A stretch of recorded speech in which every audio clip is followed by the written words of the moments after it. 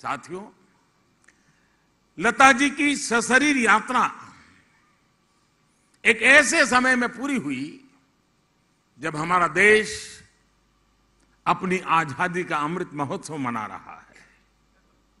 उन्होंने आज़ादी के पहले से भारत को आवाज़ दी और इस 75 सालों की देश की यात्रा उनके सुरों से जुड़ी रही।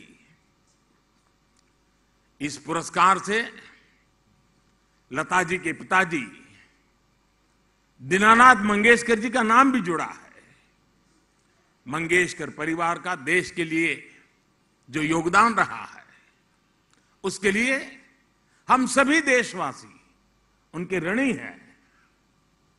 संगीत के साथ साथ राष्ट्रभक्ति की जो चेतना लता दीदी के भीतर थी उसका स्रोत उनके पिताजी ही थे। आज़ादी की लड़ाई के दौरान शिमला में ब्रिटिश वायरस के, वायसराय के कार्यक्रम में दीनानाथ जी ने वीर सावरकर का लिखा गीत गाया था।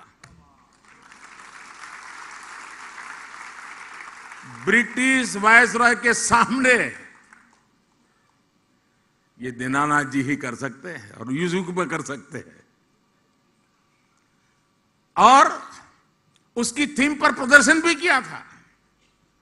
और वीर सावरकर जी ने यह गीत अंग्रेज़ी हुकूमत को चुनौती देते हुए लिखा था।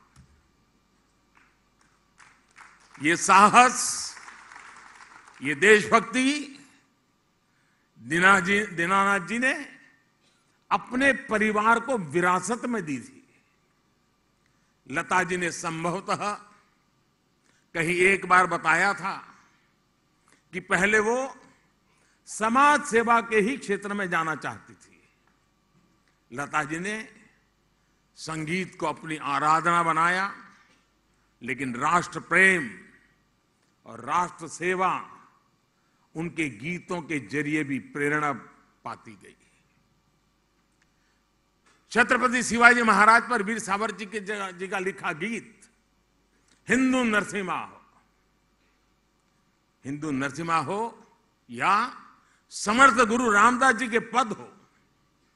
लता जी ने शिव कल्याण राजा की रिकॉर्डिंग के ज़रिए उन्हें अमर कर दिया। आए मेरे वतन के लोगों और जय हिंद की सेना। ये वो भाव पंक्तियाँ हैं जो देश के जन जन की जुबा पर अमर कर दी। उनके जीवन से जुड़े ऐसे कितने ही पक्ष हैं।